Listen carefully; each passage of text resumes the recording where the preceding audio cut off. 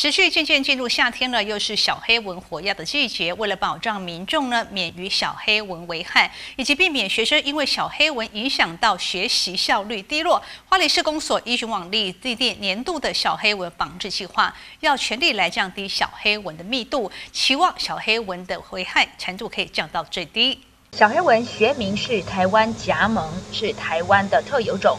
常有乡亲自嘲小黑蚊是花莲特产，殊不知它是从南投台中山区翻山越岭而来的。早在一九一三年，日本昆虫学家即在台中发现台湾甲猛之后，小黑蚊就逐渐的遍布全省。小黑蚊虽然不会传染疾病，但是叮咬后奇痒难耐，是一种极具骚扰性的昆虫，对于观光产业发展影响巨大。那从四月十号开始哈，那我们到十预计到十月底的时候，我们会在八十四个处所，那当然包含了高中职以下和幼儿园哈，那总共还有一些公园，总共八十四个地方来做相关的一个病媒蚊还有小黑蚊的一个防治消毒。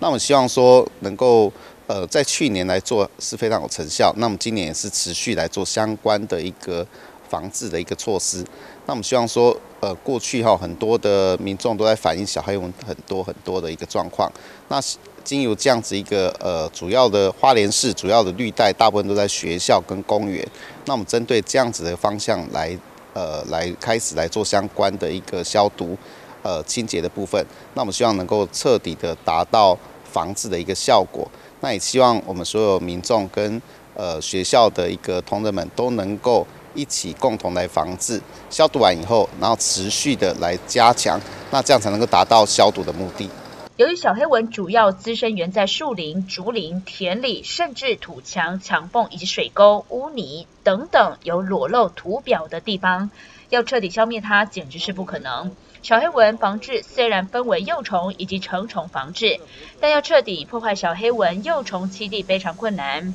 目前一般还是以成虫防治为主。那其实小黑蚊它是一个骚扰性的昆虫，并不会哦传染疾病，啊，正因为它的骚扰造成我们生活上的不便，所以我们呃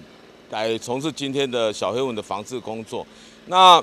呃今天所使用的药剂是除虫菊精，那除虫菊精是针对小黑蚊防治啊最好的一个药剂。好，然后我们经过呃正常的稀释倍数的稀释。其实对人数的影响并不大，那请市民啊朋友们啊不用担心。喷洒的药剂都按照规定稀释，对人畜无害，但是因为具有余毒，对水族生态影响巨大，应该要避免喷洒在池塘边。如果室内有鱼缸，应该将打气装置关闭，并且加盖岩石。记者林杰花莲市采访报道。